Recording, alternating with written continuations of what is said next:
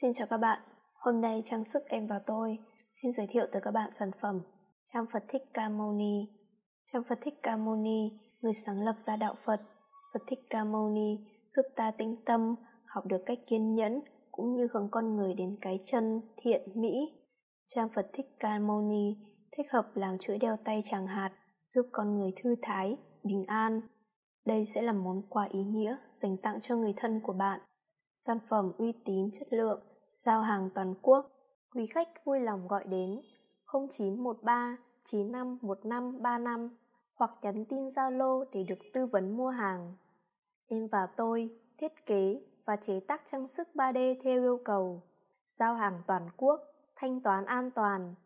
Quý khách có thể mua trực tuyến tại website trang sức vn.com hoặc các cửa hàng gần nhất.